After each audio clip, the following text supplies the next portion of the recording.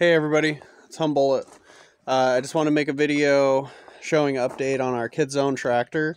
Uh, we've had it a little over a year and a half, not quite two years yet. Um, it's been pretty good, but there's had to be two parts that I've had to replace.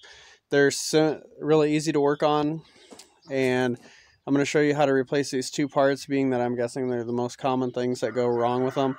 Uh, we have a Peg Perego uh, Gator, which is this right here. and then uh, we have a Power Wheels Barbie Jeep, and that is similar. There's a little bit more wiring in the Power Wheels than uh, the rest of this, but I'm going to show you right here on the Kid Zone. So we had a couple issues the beginning of the year when we went to take it out of the barn. Um, this is the old power switch. I took it apart and tried to clean the contacts, but after I realized they were kind of corroded like that, uh, I just decided to look and see if I could find a switch for it. So I found this on Amazon, $7. It's like a kid's ride-on push button start switch.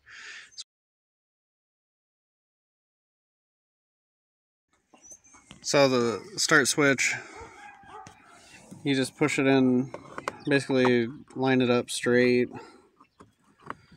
just pop it in there, and it's got a LED light. So, um, so yeah. Anyway, that had got gotten water in it over use, and going through the mud, and just sitting out. And this is basically where it's at now. Um, I replaced the switch about two months ago and then just today, uh, we had an issue with this right here, the foot pedal. And my son went to go press the foot pedal and nothing happened. So, you know, I I figured, well, it just pops out real easy. I'll check it. And uh, everything else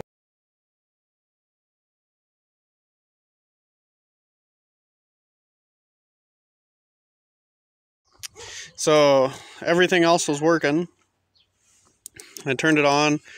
Uh, the light comes on, but he'd press the switch and it wouldn't go. So I uh, took the foot pedal off, and this is just a simple switch. Basically, all that switch does is just connect these two wires together. When you touch them, then the wheel turns. Okay. So super easy switch. They sell one on Amazon. I just looked up real quick.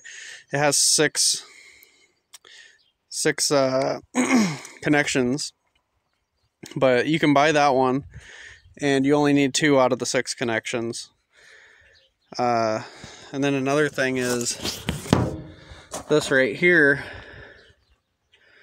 If you take the screw out, you don't actually have to buy the whole foot pedal, but they're about the same price. This just comes apart, and it's just a momentary rocker switch. And then uh, you take these tabs out. I don't think I've done this yet, but anyway, it comes out real easy. they sell those too. So I just ordered the foot pedal, and I'm going to put that in as soon as it shows up. But these are super easy to work on.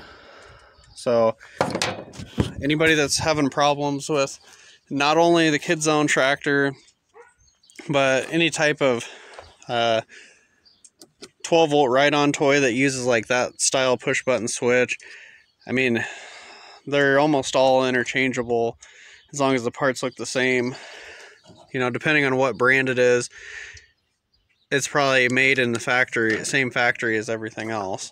This is just KidZone sure any most KidZone products uh, the parts are interchangeable. So if you do have something happen uh, where something doesn't work the parts are super cheap real easy just need a flathead screwdriver just to pop this part out and same with this in here just stick it down on the side pry it out and that's it. Um, our remote is still working.